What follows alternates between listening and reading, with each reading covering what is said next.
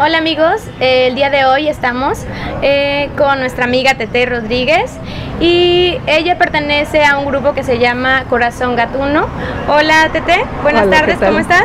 Muy bien, encantado de saludarlas. Ok, eh, bueno, vamos a platicar un poco, bueno, demasiado acerca del tema de los gatos. Y bueno, pues tenemos a, nuestra amiga que es experta en ese tema el día de hoy, por eso decidimos entrevistarla. Eh, Tete, ¿nos puedes platicar cómo nace Corazón Gatuno? Pues nos reunimos un grupo de protectores de diversos grupos y protectores independientes hace más de dos años y decidimos hacer paseos de adopción exclusivos de gatos porque en los paseos comunes se estresan mucho. Y surgió la idea de empezar a ayudar a las colonias ferales. Las colonias ferales son los gatos que están en condición salvaje y que en Veracruz hay varias. Y empezamos con la de eh, que está en el panteón, en el panteón privado, y resulta que no hemos terminado. Son tantos y es tanta la necesidad. Y bueno, esa es como que nuestra gran solicitud a la comunidad, no seguir tirando gatitos ahí porque mueren. Y dos, eh, bastante tenemos con los que ahí se reproducen. No es lo mismo un gato feral que un gato del barrio o que un gatito del baldío. Aquí te hablo de una comunidad de gatos de más de 200 gatos. Tete, ¿nos puedes decir más o menos cuál es la diferencia entre un gato feral y un gato eh, que no lo es?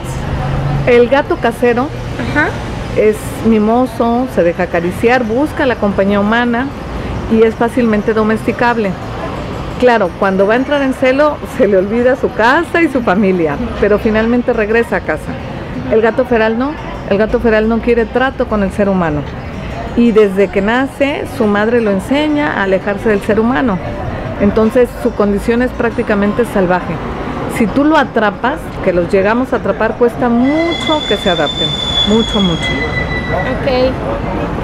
Eh, ¿Para cuánto realizan los eventos eh, Grupo Corazón Gatuno? Mira, en Grupo Corazón Catuno empezamos muchos protectores. De manera constante y permanente solo quedamos tres personas. Erika Canizal, Eli del Valle y una servidora. Diversos compañeros nos ayudan. Te puedo mencionar muchos y bueno, luego la gente se pone celosa si se te olvida alguien. Sí. Pero finalmente recibimos donativos constantemente, de manera permanente a través de las redes sociales, nos donan alimento. Los alimentamos dos veces a la semana y ayudamos a una familia que tiene 10 años alimentándolos. Gastan más de 300 pesos diarios en alimentarlos. Cada mes y medio los desparasitamos. Con eso evitamos que haya sarna, pulgas y que la gente les dé asco porque tengan sarna. Y los, y los esterilizamos de manera masiva dos ocasiones. Y vamos por la tercera. Y para hacerlo de manera continua esterilizamos uno o dos a la semana, pero eso depende mucho de que los podamos atrapar porque son inatrapables, son listísimos, no caen en las trampas o son tan salvajes que se pueden estresar mucho y de estrés se pueden morir. Entonces tenemos que ser muy, muy cuidadosos, ¿sí? La verdad queremos preservarlos, no sacrificarlos, ¿no? ¿Cuántos voluntarios llegan al panteón para poder eh, atrapar esos gatitos? Mira, no los puedes corretear porque se estresan. Ahorita, por ejemplo, para este fin de semana estamos preparándonos unas 12 personas, ¿sí? Pero es determinante que vayamos quienes les damos de comer. Claro, Ya porque ya están, ya los conocen a ustedes. están familiarizados con nosotros. Mira, hay una de nuestras compañeras, Cira, Cira va diario todas las mañanas. No les da todo, les da un poquito. Cira puede cargar algunos que nosotros Jamás. jamás, ¿sí?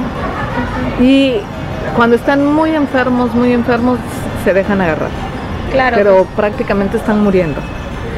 ¿Les harías alguna invitación a todos los amigos que quizás eh, tengan disponible un fin de semana y quieran eh, acercarse a ustedes a colaborar como voluntarios para ir a conocer esos gatitos, brindarles alimento? eh, este, Todos los viernes y sábados nos decimos corazón gatuno porque decimos que los protectores siempre tenemos corazón de pollo. Pero este grupo no tiene corazón de pollo, tiene corazón de gato. Este, todos los viernes y los sábados a las cinco y media nos encuentran en el panteón alimentándolos. De manera permanente nos pueden dejar cualquier donativo, que a mí me gusta mucho más en especie que en efectivo, porque se presta a muchas cosas, ¿no? Claro. Hay un doctor que es nuestro doctor base de cabecera, el doctor José Luis Ramírez. Él nos recibe cualquier donativo, sobre todo si es en especie, medicamento, o si quieren dejarle a ellos alguna cantidad para que esterilicen, muy bienvenido. Él está en la veterinaria mascota, en Troncoso, 742, entre Prin y Carranza. Él tiene corazón gatuno. Y este, de manera permanente en el edificio Flamingos, en la caseta de vigilancia, siempre me encuentro una bolsa de croquetas, una bolsa de pañales, alimento suave, o nos pueden contactar en las redes sociales. Tenemos Face como Grupo Corazón Gatuno, Erika Canizal como tal, Eli del Valle y una servidora. Ahora, yo no puedo negar, ¿eh? muchos amigos y compañeros nos ayudan muchísimo. En esta ocasión, para hacer la siguiente esterilización masiva, el Grupo ECOS nos va a respaldar con sus integrantes base y Berna y Nancy, ¿no? Entonces, finalmente, ustedes saben que solas no podríamos, ¿no? Claro. Esto es una red de ayuda. No falta que el protagonismo nos agobie a veces, pero prevalece más el amor a los animales, ¿no? Sí. Pues bueno amigos, eh, eso es todo. Muchísimas gracias Tete por esta entrevista que nos has dado el día de hoy. Y bueno, esperemos que próximamente podamos entrevistarte sobre un tema específico de los gatos, ¿te parece? Claro, la toxoplasma es un mito bien importante que hay que platicar. Un tema muy amplio, Claro, ¿no? Del cual hecho. podemos hablar. Pues que- muchas felicidades por esta oportunidad de difundir todos los protectores, pero sobre todo de pedir ayuda y de encontrar hogares. ¿eh? Claro, así es. Así es que chicos, apoyemos la adopción. Y apoyemos al grupo Corazón Gatuno, que es totalmente veracruzano. Y nos veremos nuevamente en el Panteón. Ahí estaremos. Gracias, Gracias Tete. gracias a ustedes, ¿eh? las felicito. Eh, hola amigos, pues lo prometido es deuda. Eh, estamos aquí en, en el Panteón visitando a nuestras amigas del grupo Corazón Gatuno. Hola Tete, buenas tardes. Eh, estamos viendo y de verdad estamos sumamente impresionados del trabajo y la labor que ustedes realizan. Eh, estamos, tuvimos la oportunidad de, de ver la forma en que los alimentan. ¿Puedes contarles a nuestros amigos eh, cuál es el proceso para darles de comer? Sí, este, gracias a mucha gente que nos dona, podemos apoyar esto de manera permanente y si no llega donativo, pues de nuestro bolsillo.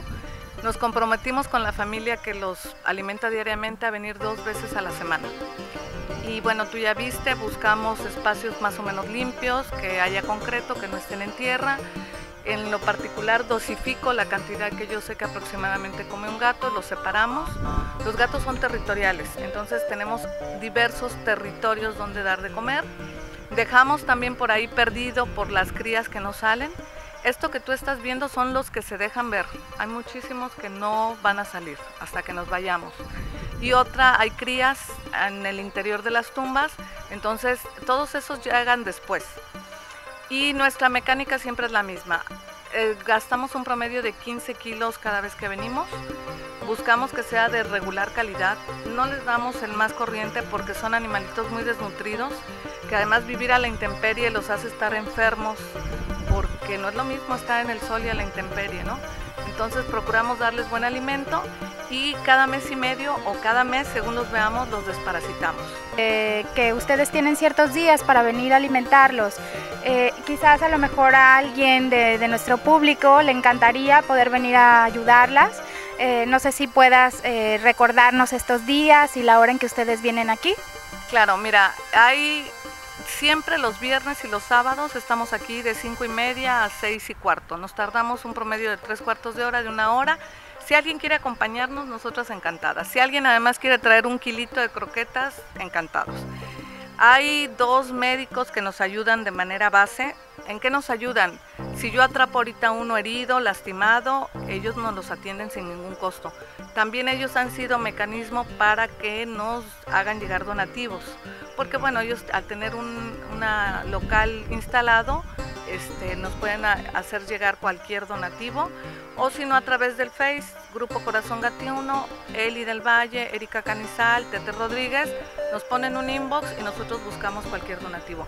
Ok amigos, pues ya saben, quizás a lo mejor de, sus de sus gatitos que tienen en sus casas pueden venir al Panteón los días que nos mencionó nuestra amiga Tete y venir a donar un, kilo de, alimento o quizás a lo mejor también eh, veo que necesitan guantes, gasas, desparasitantes, igual y pónganse en contacto con ellas nuevamente Tete tu página o su página en Facebook y algún teléfono donde los puedan encontrar. Claro, somos Grupo Corazón Gatuno como Face. De manera individual nos encuentran como Eli del Valle, Erika Canizal, Tete Rodríguez. Mi teléfono, que de privado no tiene nada, 2299-840057.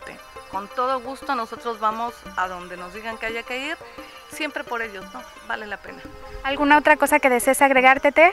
Mira, he hecho mucho hincapié desde la primera parte de la entrevista, que no nos vengan a votar gatitos si nos vienen a votar gatitos, son gatitos que van a morir de manera muy cruel.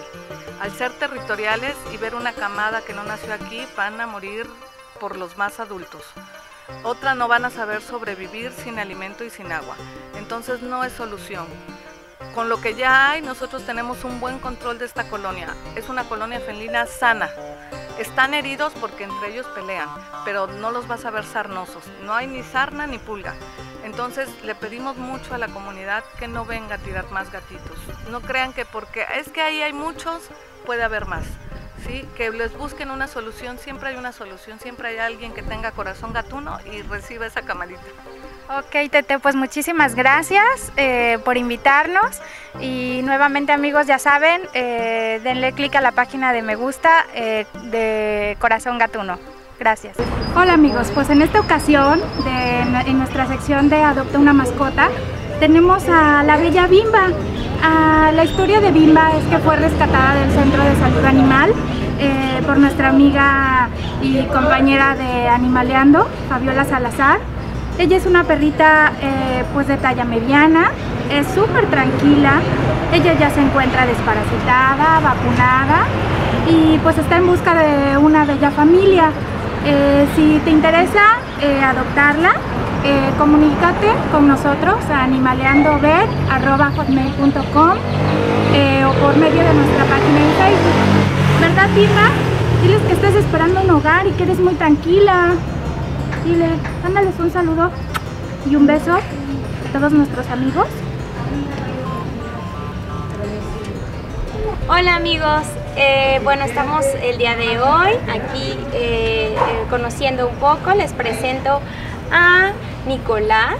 Él está en adopción. Tiene aproximadamente dos años y medio. Está vacunado, desparasitado y esterilizado. Em, él es un perrito muy tranquilo. Es recomendable si alguien no tiene mucho tiempo para pasearlo. Él es el perro ideal.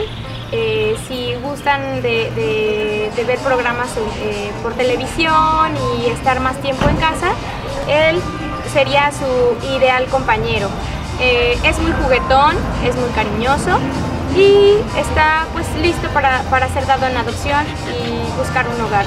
Lo único, el único inconveniente con Nico, Nico tuvo un accidente, lo atropellaron y una de sus patitas traseras eh, no apoya al 100%, pero él eh, tiene una actividad eh, totalmente normal y bueno, vamos a caminarlo un poquito para que ustedes vean que él está 100% curado y puede hacer las mismas actividades que cualquier otro perrito. Mira Nico, ven, vamos, ven, vamos, vamos, ven Nico, bueno chicos, eso es todo y nos despedimos mandándoles a todos un beso. Diles adiós.